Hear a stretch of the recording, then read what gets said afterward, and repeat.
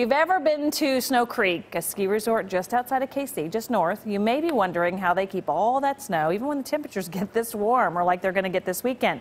The Now's Rae Daniel went to go find out. All of this snow that I am standing on, I'm talking about six to seven feet, has been made by machines that are spread out all throughout Snow Creek. With the help of 60 snow guns all spread out throughout the hill, we're able to make up to 12 inches in a 24 hour time period. The snow guns blow only when it's a certain temperature outside. 28 degrees or below, we turn on all the guns.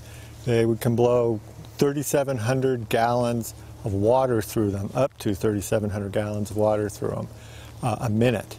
And when that water hits that cold air, it crystallizes and drops to the ground in the form of snow. Recent cold weather has allowed the resort to produce quite a bit of it. And we've started off this year fantastic with Mother Nature blessing us with great temperatures, meaning really cold temperatures.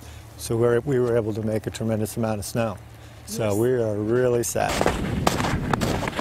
giving the resort feet of snow, even when it's sunny out. We planned, being in the Midwest and being it's still early season December, we plan on the temperatures going up and going back down. So we combat that by making a lot, a lot of snow.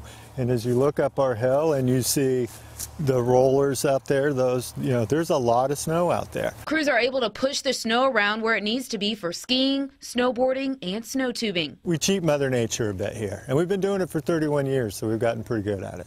So whether it is cold or warm, you'll still see several inches of snow just like this. For the Now KC, I'm Rae Daniel.